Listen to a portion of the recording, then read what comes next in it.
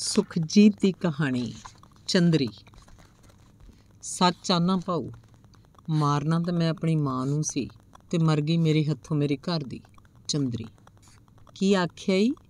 ਸੱਚ ਆਖਾਂ ਤਾਂ ਕੋਈ ਕਸਮ ਪਵਾ ਲਓ। ਤੁਹਾਡੀ ਜਿਵੇਂ ਤਸੱਲੀ ਹੋਵੇ ਕਰ ਲਓ। ਮੈਂ ਤੇ ਸਾਰੀ ਸੱਚੀ ਕਰਾਂਗਾ। ਮੈਂ ਨਹੀਂ ਕਿਸੇ ਦਾ ਲਿਹਾਜ਼ ਕਰਨ ਲੱਗਾ, ਨਾ ਮਾਂ ਦਾ, ਨਾ ਪਿਓ ਦਾ। ਲੋਕ ਭਾਊ ਜਿਵੇਂ ਆਂਦੇ ਨੇ, ਆਪਣੀ ਲੁਕਾ ਲੈਂਦੇ ਨੇ। ਆਪਣੀ ਮਾੜੀ ਕੋਈ ਨਹੀਂ ਕਰਦਾ। ਪਰ ਕਸਮੇ ਭਾਊ, ਹੁਣ ਕਸਮੀ ਕਿਹਦੀ ਖਾਵਾਂ?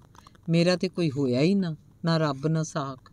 ਚਲੋ ਕਸਮ ਚੰਦਰੀ ਦੀ ਥੋੜਾ ਚਿਰੀ ਸਹੀ, ਚੰਦਰੀ ਮਰ- ਮੇਰੀ ਹੋਈ ਸੀ। ਉਦੋਂ ਮੇਰਾ ਰੱਬ ਹੁੰਦੀ ਸੀ ਭਾਊ। ਉਸੇ ਦੀ ਕਸਮ। ਉਤਰਾਂ ਕਸਮਾਂ ਨਾਲ ਕਿਹੜਾ ਸੱਚ ਬੋਲਿਆ ਜਾਂਦਾ, ਜਿਵੇਂ ਆਂਦੇ ਨੇ, ਚੋਰਾਂ, ਯਾਰਾਂ, ਆਸ਼ਕਾਂ, ਕਸਮਾਂ ਨਾਲ ਵਿਹਾਰ। ਪਰ ਮੈਂ ਭਾਊ ਜਿੰਨੀ ਕਰਾਂਗਾ, ਸੱਚੀ ਕਰਾਂਗਾ ਤੇ ਸੱਚ ਵੇ ਭਾਊ ਕਿ ਮਾਰਨਾ ਤੇ ਮੈਂ ਆਪਣੀ ਮਾਂ ਨੂੰ ਸੀ ਤੇ ਮਰ ਗਈ ਮੇਰੇ ਹੱਥੋਂ ਮੇਰੇ ਨਾਲ ਦੀ ਚੰਦਰੀ। ਵੇਖੋ, ਇਸ ਤਰ੍ਹਾਂ ਨਹੀਂ, ਜੇ ਸੁਣਨੀ ਏ ਤੇ ਬਹਿ ਕੇ ਸੁਣੋ। ਮੈਂ ਤੇ ਅੱਗੇ ਹੀ ਨਹੀਂ ਕੂੰਦਾ ਕਿਸੇ ਨਾਲ। ਹੁਣ ਤੱਕ ਜੋ ਤੁਸੀਂ ਚੰਗਾ ਮੰਦਾ ਆਖਿਆ ਸੁਣਦਾ ਰਿਹਾ। ਅੱਜ ਆਪ ਹੀ ਤੁਸੀਂ ਆਖਿਆ, ਹੱਡ ਬੀਤੀ ਕਹਾ। ਹੁਣ ਇਉਂ ਵਿੱਚੋਂ ਉੱਠ ਕੇ ਜਾਣਾ ਤੇ ਗੱਲਾਂ ਕਰਨੀਆਂ ਇਹ ਠੀਕ ਨਹੀਂ ਭਾਊ। ਸੁਣਨੀ ਏ ਤੇ ਬਹਿ ਕੇ ਸੁਣੋ। ਨਿੱਠ ਕੇ, ਸਵਾਰੇ ਹੋ ਕੇ, ਹਾਂ। ਤੇ ਭਾਊ, ਜਿੰਨੇ ਫੱਟ ਮੇਰੀ ਮਾਂ ਨੇ ਮੈਨੂੰ ਦਿੱਤੇ ਸੀ ਭਰ ਜਾਂਦੇ ਖੋਰੇ, ਜੇ ਚੰਦਰੀ ਜਿੱਦਲ ਨਾ ਹੁੰਦੀ ਤੇ ਇੱਕ ਝੂਠ ਮਾਰਨ ਦੀ ਉਹਦੀ ਆਦਤ ਨਾ ਹੁੰਦੀ। ਝੂਠ ਤੇ ਭਾਊ ਚੰਦਰੀ ਉਹ ਮਾਰਦੀ ਸੀ ਜਿਹਦਾ ਜਵਾਬ ਨਹੀਂ ਸੀ। ਹੱਥਾਂ ਤੇ ਸਰੋਂ ਜਮਾ ਦਿੰਦੀ। ਉਹ ਆਂਦੇ ਨੇ ਨਾ, ਚਿੱਟਾ ਝੂਠ ਚਿੱਟਾ ਝੂਠ ਮਾਰਦਿਆਂ ਮੈਂ ਉਹਨੂੰ ਹੀ ਤੱਕਿਆ ਤੇ ਝੂਠ ਮਾਰ ਕੇ ਉਹਦੇ ਉੱਤੇ ਅੜਨਾ ਵੀ ਉਹਨੂੰ ਹੀ ਆਉਂਦਾ ਸੀ। ਭਾਊ ਜੇ ਕਿਧਰੇ ਉਹਨੇ ਆਖ ਦਿੱਤਾ, ਨਾ ਕਿ ਮੱਝ ਦਾ ਦੁੱਧ ਕਾਲਾ ਹੈ, ਫਿਰ ਭਾਵੇਂ ਵੱਢੀ ਜਾਂਦੀ। ਉਹ ਕਾਲਾ ਹੀ ਰਹਿੰਦਾ ਭਾਊ ਚਿੱਟਾ ਨਹੀਂ ਹੁੰਦਾ। ਢੀਠ ਠੇਡੀ ਕਿ ਮੈਂ ਕੁੱਟਦਾ ਕੁੱਟਦਾ ਥੱਕ ਜਾਂਦਾ ਤੇ ਰੋਣ ਲੱਗ ਪੈਂਦਾ, ਉੱਠ ਕੇ ਇੰਜ ਕੱਪੜੇ ਝਾੜਦੀ ਜਿਵੇਂ ਤਿਲ ਕੇ ਡਿੱਗੀ ਹੋਵੇ। ਪਾਣੀ ਦਾ ਗਲਾਸ ਭਰਦੀ ਤੇ ਮੇਰੇ ਮੂੰਹ ਨੂੰ ਲਾ ਦਿੰਦੀ। ਬਈ ਭਾਊ, ਉਹ ਮਰਦੀ ਮਰ ਗਈ, ਪਰ ਨਾ ਤਾਂ ਉਹਦੀ ਖੱਲੜੀ 'ਚ ਡਰ ਆਇਆ ਰਤਾ, ਤੇ ਨਾ ਉਹਨੇ ਝੂਠ ਮਾਰਨਾ ਛੱਡਿਆ। ਜਿੱਦ ਦੀ ਤੇ ਮੇਰੀ ਮਾਂ ਵੀ ਬੜੀ ਪੱਕੀ ਸੀ। ਇਹਨਾਂ ਦੋ ਜਨਾਨੀਆਂ ਨੇ ਜਿੰਨਾ ਮੈਨੂੰ ਸੱਲਿਆ ਨਾ, ਹੈ ਭਾਊ, ਆਹੋ ਨੁਕਸ ਤੇ ਕੋਈ ਮੇਰੇ 'ਚ ਵੀ ਹੋਏਗਾ ਹੋਏਗਾ ਹੀ ਭਾਊ, ਜਿਹੜੀ ਉਹਨਾਂ ਦੂਆਂ ਨੇ ਤੇ ਕਈ ਹੋਰਨਾਂ ਵੀ ਮੇਰੇ ਤੇ ਕਾਠੀ ਪਾਈ ਰੱਖੀ ਏ। ਇੱਥੇ ਜੇਲ੍ਹ 'ਚ ਹੀ ਵੇਖ ਲਓ, ਹੈ? ਚੰਗਾ ਭਾਊ, ਨਹੀਂ ਕਰਦਾ, ਜੇਲ੍ਹ ਦੀ ਕੋਈ ਗੱਲ ਨਹੀਂ ਕਰਦਾ। ਹਾਂ ਹਾਂ, ਜਿਹੜੀ ਗੱਲ ਕਰਕੇ ਮੇਰੀ ਮਾਂ ਨੇ ਮੈਨੂੰ ਤੰਦੂਰੇ ਤਾਈ ਰੱਖਿਆ ਸਾਰੀ ਉਮਰ, ਉਹਦਾ ਤੇ ਮੈਨੂੰ ਪਤਾ ਹੈ ਉਹ ਆਂਦੇ ਹੁੰਦੇ ਆ ਨਾ ਕਿ ਕੱਟਣ ਨੂੰ ਤੇ ਬੰਦਾ ਮਾਂ ਦੇ ਯਾਰ ਨਾਲ ਵੀ ਕੱਟ ਲੈਂਦਾ ਬਸ ਭਾਊ ਮੇਰੇ ਕੋਲੋਂ ਇਹੀਓ ਨਹੀਂ ਹੋਇਆ। ਉਂਝ ਖੋਰੇ ਮੈਂ ਤੇ ਕੱਟ ਹੀ ਲੈਂਦਾ। ਜਿਵੇਂ ਆਂਦੇ ਨੇ, ਉਹ ਮੇਰਾ ਚਾਚਾ ਹੈ ਨਾ, ਉਹੀਓ ਜਿਹਨੇ ਗਵਾਹੀ ਦੇਣੀ ਸੋ, ਉਹ ਮੇਰੇ ਹੱਡ ਤੇ ਲਾਉਂਦਾ ਰਹਿੰਦਾ। ਮਾਂ ਯਾਵਿਆ ਮਰ ਕਿਉਂ ਨਹੀਂ ਜਾਂਦਾ, ਸ਼ਰਮ ਨਹੀਂ ਆਉਂਦੀ, ਗੱਬੂ ਗੋਛੇ ਖਾਂਦੇ ਨੂੰ। ਜਿਸ ਤਰ੍ਹਾਂ ਪਿਓ ਵਾਲੇ ਹੋਣ, ਮੇਰਾ ਤੇ ਬਸ ਨਹੀਂ ਚੱਲਦਾ ਪੁੱਤਰਾ, ਨਹੀਂ ਤੇ ਨਾ ਸਰਦਾਰਾਂ ਦੀ ਤੇ ਤੇਰੀ ਮਾਂ ਦੀ। ਚਾਚਾ ਆਂਦਾ ਰਹਿੰਦਾ ਹੈ ਉਂਝ ਤੇ ਸਰਦਾਰ ਸਾਡੇ ਜੱਟਾਂ ਦੀ ਵੱਡੀ ਉਂਗਲ ਤੇ ਨਹੀਂ ਮੁੱਤਰਦੇ, ਤੇ ਤੁਹਾਡੇ ਘਰ ਰੋਜ਼ ਗੱਟਾ ਗੱਬੂ ਗੋਛਿਆਂ ਦਾ ਆ ਜਾਂਦਾ ਹੈ ਹੈਂਜੀ ਪਿਓ ਮੇਰਾ ਪਿਓ ਮੇਰਾ ਤੇ ਭਾਊ ਸਾਹ ਦੇ, ਉਹਦਾ ਕੀ ਆ? ਜਿਆ ਹੋਇਆ ਤਿਆ ਨਾ ਹੋਇਆ। ਮੈਨੂੰ ਵੀ ਪਹਿਲਾਂ ਆਂਦੇ ਸਨ ਕਿ ਮੇਰਾ ਸੁਭਾਅ ਵੀ ਪਿਓ ਤੇ ਗਿਆ ਹੈ ਸਾਧੂ ਸੁਭਾਅ, ਜਮਾ ਠੰਡਾ, ਉੱਕਾ ਧੀਰਾ। ਜਿਵੇਂ ਆਂਦੇ ਨੇ ਅੱਖੀਂ ਵੇਖ ਕੇ ਮੱਖੀ ਖਾ ਜਾਣ ਵਾਲਾ, ਤੇ ਮਾਂ ਮੇਰੀ? ਨਹੀਂ, ਚੁੱਪ ਕੀ ਕਰਨਾ ਭਾਊ, ਸੋਚਣਾ ਮਾਂ ਦੀ ਗੱਲ ਨਾ ਹੀ ਕਰੀਏ।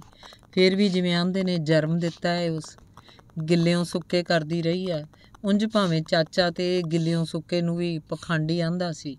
ਆਂਦਾ ਸੀ, ਗਿੱਲੇ ਥਾਂ ਪਿਆ ਬਾਲ ਰੋਂਦਾ ਰਹਿੰਦਾ ਤੇ ਮਾਂ ਆਵਾਜ਼ਾਰ ਰਹਿੰਦੀ, ਸੁੱਕੇ ਥਾਂ ਜਾਣਾ ਸੌਂ ਜਾਂਦਾ ਤੇ ਖੁਦ ਵੀ ਸੁੱਤੀ ਰਹਿੰਦੀ ਹੈ ਰਮਾਨ ਨਾਲ। ਚਲੋ ਚਾਚਾ ਤੇ ਦੁਖੀ ਬੰਦਾ ਹੈ ਉਹਦਾ ਕੀ ਆ? ਛੜਾ ਛੜਾ। ਨਾ ਕਬੀਲਦਾਰੀ ਪਈ, ਨਾ ਪਤਾ ਲੱਗਾ। ਨਿੱਕੇ ਹੁੰਦਿਆਂ ਕਿਸੇ ਬਿਮਾਰੀ ਦੇ ਟੌਕ ਨਾਲ ਉਹਦੀ ਸੱਜੀ ਬਾਹ ਸੁੱਕ ਕੇ ਪਤਲੀ ਪੈ ਗਈ। ਸੱਜੀ ਅੱਖ ਵੀ ਸੁੰਗੜ ਗਈ ਤੇ ਹੁਣ ਚਾਚਾ ਜਦੋਂ ਗੱਲ ਕਰਦਾ ਤੇ ਅੱਖ ਮਿੱਟੀ ਜਾਪਦੀ ਏ। ਉਹਦੀ ਲੱਤ ਬਚ ਗਈ ਨਹੀਂ ਤੇ ਲੋਕਾਂ ਉਹਦਾ ਨਾਂ ਕੈਦੋਂ ਧਰ ਦੇਣਾ ਸੀ।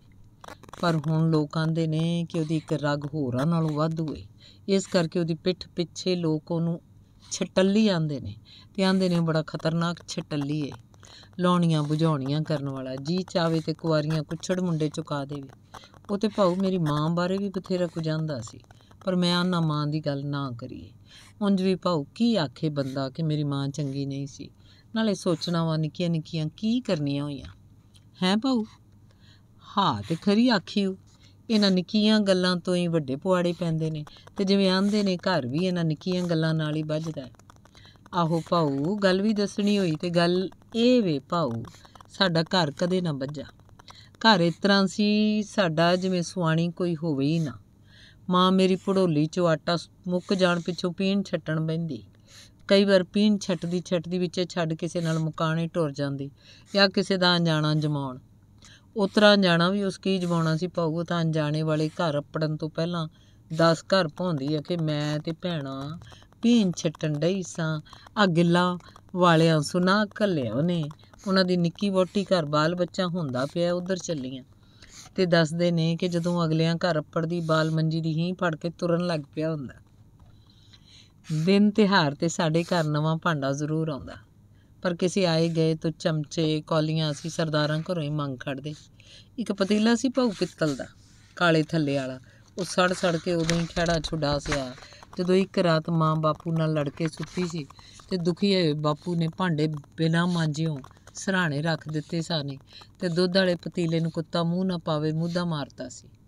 ਅੱਧੀ ਰਾਤ ਹੋਏਗੀ ਭਾਊ, ਚੰਨ ਪੂਰਾ ਚਮਕ ਰਿਹਾ ਸੀ। ਵਿਹੜੇ 'ਚ ਖਲੋਤੀ ਕਿੱਕਰ ਤੇ ਕੋਚਰੀ ਬੋਲ ਰਹੀ ਸੀ ਤੇ ਮੋਤੀ ਨੇ ਘਰ ਸਿਰ ਤੇ ਚੁੱਕਿਆ ਹੋਇਆ ਸੀ। ਇਸ ਤਰ੍ਹਾਂ ਤੇ ਮੋਤੀ ਵਿਹੜੇ 'ਚ ਆਣ ਵੜੇ ਸਾਹ ਨੂੰ ਭੌਂਕਦਾ ਸੀ ਜਾਂ ਸੱਪ ਨੂੰ। ਤੇ ਜਾਂ ਉਦੋਂ ਭੌਂਕਿਆ ਸੀ ਜਦੋਂ ਮੇਰੇ ਬਾਬੇ ਦੇ ਮਰਨ ਤੇ ਵੱਡੇ ਸਰਦਾਰ ਹੋਰੀ ਕੁਆਣ ਆਏ ਸਨ। ਉਦੋਂ ਵੀ ਮੋਤੀ ਉਨਾ ਚਿਰ ਖਫਾ ਖੂਨ ਹੋਇਆ ਰਿਹਾ ਸੀ ਜਿੰਨਾ ਚਿਰ ਉਹ ਸਾਡੇ ਘਰ ਰਹੇ ਸਨ। ਖੋਰੇ ਕਿਉਂ?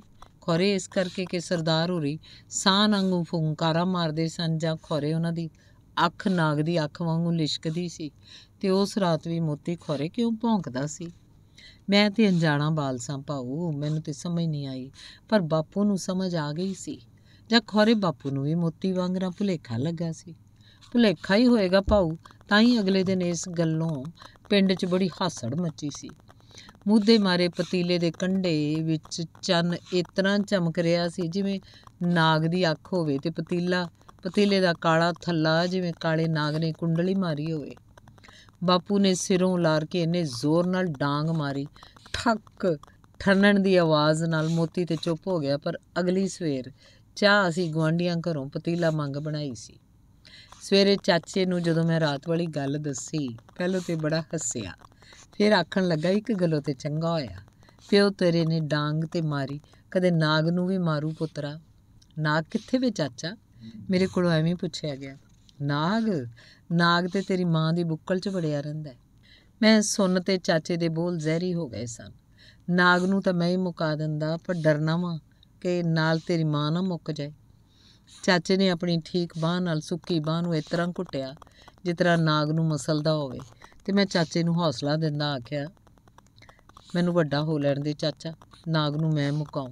ਤੇ ਇੰਨੀ ਗੱਲ ਸੁਣ, ਜਦੋਂ ਚਾਚੇ ਨੇ ਮੇਰੇ ਵੱਲ ਵੇਖਿਆ ਤਾਂ ਮੈਨੂੰ ਉਹਦੇ ਕੋਲ ਬੜਾ ਡਰ ਆਇਆ, ਭਾਊ, ਮੈਨੂੰ ਉਹਦੀ ਇੱਕ ਅੱਖ ਮਿੱਟੀ ਹੋਈ ਜਾਪੀ ਤੇ ਦੂਜੀ ਨਾਗ ਦੀ ਅੱਖ ਵਾਂਗੂ ਲਿਸ਼ਕਦੀ।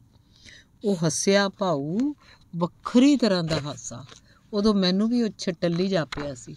ਆਖਣ ਲੱਗਾ, ਵੇਖ ਲਾਂਗੇ ਪੁੱਤਰਾ, ਤੇਰੇ ਪਿਓ ਨੇ ਬਿੱਲੀ ਨਾ ਮਾਰੀ, ਤੂੰ ਗੇੜਾ ਤੇ ਉਹਦੀ ਗੱਲ ਸੱਚੀ ਹੋਈ, ਹੋਊ ਪਾਉ ਪਿਓ ਮੇਰੇ ਨੇ ਸੱਪ ਦੇ ਭੁਲਾਵੇ ਪਤੀਲਾ ਭੰਤਾ ਸੀ। ਘਰ ਦਾ ਤੇ ਮੈਂ ਆਪਣੇ, ਆਪਣੀ ਘਰ ਮੁਕਾ ਬੈਠਾ ਚੰਦਰੀ। ਘਰ ਦੀ ਚੰਦਰੀ ਲੱਖ ਮਾੜੀ ਸੀ ਪਾਉ ਪਰ ਮੇਰੇ ਲਈ ਉਹ ਰੱਬ ਸੀ। ਹੈ ਪਾਉ ਕੀ ਦੱਸਾਂ? ਉਹਦੇ ਮਿਲਣ ਦੀ ਵੀ ਅਜਬ ਕਥਾ ਹੈ ਪਾਉ ਇੱਕ ਵਾਰ ਸਾਡੀ ਕੰਪਨੀ ਕਾਨੂੰਵਾਲ ਵੱਲ ਮਸ਼ਕਾਂ ਕਰ ਰਹੀ ਸੀ। ਆਹੋ, ਮੈਂ ਫੌਜੀਆਂ ਪਾਉ ਘਰੋਂ ਆਖਿਆ ਹੀ ਮੈਂ ਫੌਜੀ ਹੋ ਗਿਆ ਸਾਂ। ਟੈਂਕਾਂ ਦੀ ਮਸ਼ਕ ਸੀ। ਇੱਕ ਤਰ੍ਹਾਂ ਦੀ ਲੜਾਈ ਹੁੰਦੀ ਆ ਪਾਉ ਅਸੀਂ ਅੱਧੇ ਇੱਧਰ, ਅੱਧੇ ਉੱਧਰ ਹੋ ਜਾਂਦੇ ਆ। ਸਾਡਾ ਮੇਜਰ ਸਾਹਿਬ ਬੜਾ ਪੜਿਆ ਲਿਖਿਆ ਸੀ ਪਾਉ ਉਸ ਆਖਣਾ, ਲੜਾਈ ਤੇ ਜਵਾਨੋ ਫੌਜੀ ਦੀ ਜ਼ਿੰਦਗੀ 'ਚ ਕਦੀ ਆਉਂਦੀ ਆ। ਬਸ ਆ ਮਸ਼ਕਾਂ ਹੀ ਨੇ। ਐਵੇਂ ਜ਼ਿੰਦਗੀ ਆ। ਕਦੇ ਮਿਲਦੀ ਆ ਜਿਉਣ ਲਈ। ਨਹੀਂ ਤੇ ਸਾਰੀ ਜ਼ਿੰਦਗੀ ਜਿਉਣ ਦੀਆਂ ਮਸ਼ਕਾਂ ਹੀ ਕਰੀਦੀਆਂ ਨੇ। ਤੇ ਉਦੋਂ ਸਮਝ ਨਹੀਂ ਸੀ ਆਉਂਦੀ ਇਹਨਾਂ ਗੱਲਾਂ ਦੀ ਭਾਉ ਹੁਣ ਜਦੋਂ ਸਮਝ ਆਈ ਏ ਜ਼ਿੰਦਗੀ ਮੁੱਕ ਗਈ ਆ। ਕੀ ਕਰੀਏ ਭਾਉ ਹੌਕਾ ਵੀ ਤੇ ਭਰਿਆ ਹੀ ਜਾਂਦਾ ਹੈ।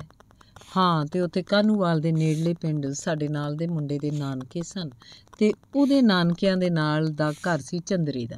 ਤੇ ਜਦੋਂ ਕਦੇ ਅਸੀਂ ਉੱਧਰ ਜਾਣਾ, ਚੰਦਰੀ ਨੇ ਝਾਟਾ ਜਾਣਾ ਤੇ ਕਾਨੂੰਵਾਲ ਦੇ ਛੰਭ ਦੀਆਂ ਉਹ ਕਹਾਣੀਆਂ ਕਰਨੀਆਂ ਕਿ ਸਾਡੇ ਸਿਰ ਚ ਕਰਾ ਜਾਣੇ ਭਾਉ ਏਡੇ ਲੰਮੇ ਲੰਮੇ ਸੱਪ ਦੱਸਣੇ, ਕਦੇ ਛਲੇਡੇ ਕਦੇ ਪਾਕਿਸਤਾਨੀਆਂ ਦੇ ਟੋਲੇ ਕਿ ਇੱਕ ਵਾਰੀ ਤੇ ਸੁਣ ਕੇ ਅਸੀਂ ਤਰੇਲੀਓ ਤਰੇਲੀ ਹੋ ਜਾਣਾ।